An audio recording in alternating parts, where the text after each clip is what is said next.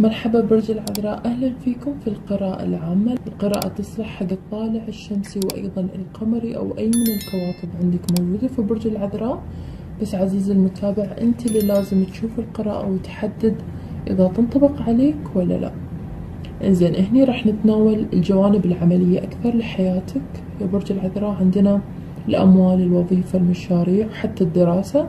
وبشكل عام راح نلقي نظرة على الحياة العاطفية وآخر شيء ننتهي بالمفاجأة اللي يخبيها لي أول شيء جانب الأموال.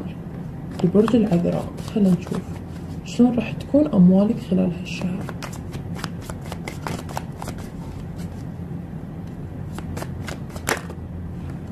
أوكي.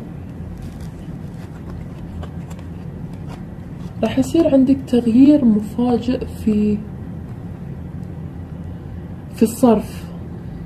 يعني في أموال أشوفك هني أنت يا برج العذراء حاطنها على جنب من أجل اليوم الأسود ولكن في شيء شخص ممكن يكون شخص.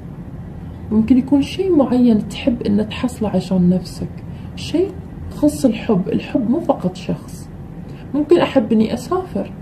ممكن شفت عقد وقررت أو مجوهرات أوكي أو سيارة حتى.